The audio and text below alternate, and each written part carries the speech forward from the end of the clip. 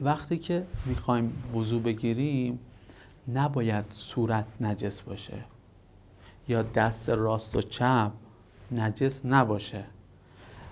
جایی که می‌خوای مس بکشی نجس نباشه. یا روی پای راست پای چپ نجس نباشه.